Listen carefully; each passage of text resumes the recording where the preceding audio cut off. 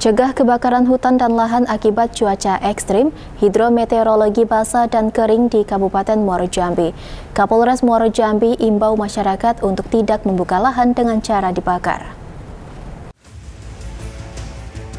Luasnya wilayah Kabupaten Muaro Jambi sebagian besar merupakan lahan gambut yang merupakan lahan yang sangat rawan terbakar serta masih banyaknya masyarakat membuka lahan dengan cara membakar, sehingga hal ini menjadi perhatian khusus bagi pemerintah kabupaten dan aparat polisi dan TNI, agar peristiwa kebakaran hutan dan lahan atau karhutla tidak terulang kembali. Hal ini disampaikan oleh Kapolres Moro Jambi AKBP Muharman Arta. Ia mengatakan bahwa pemerintah dan aparat kepolisian TNI bergabung dalam tim Satgas Kebakaran Hutan dan Lahan akan selalu siaga guna mengantisipasi kebakaran hutan dan lahan. Karena memang wilayah Kabupaten Muaro Jambi berpotensi tinggi rawan akan kebakaran hutan. Ia juga mengatakan bahwa beberapa antisipasi sudah dilakukan di berbagai perusahaan yang telah membuat embun di lokasi lahan gambut dan memberi sosialisasi kepada masyarakat bersama dengan tim peduli api.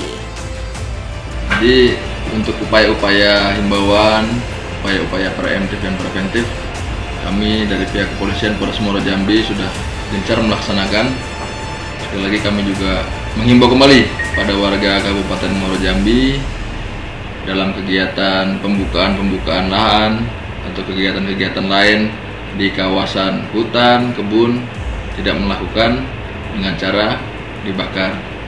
Untuk prediksi memang di bulan Maret pada tahun ini akan mulai cuaca musim panas yang perlu diwaspadai apabila siklus 4 tahunan di 2015-2019 akan berulang di tahun ini.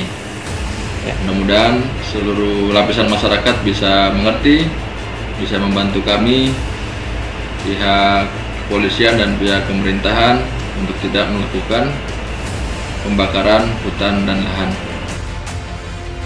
Lebih lanjut, AKBP Muharman Arta mengimbau kepada masyarakat untuk mencegah supaya tidak ada lagi terjadinya kebakaran hutan dan lahan tahun ini. Warga di Kabupaten Muaro Jambi diminta untuk tidak membuka lahan dengan cara dibakar. Novia Putri Sanjaya, Cek TV, melaporkan.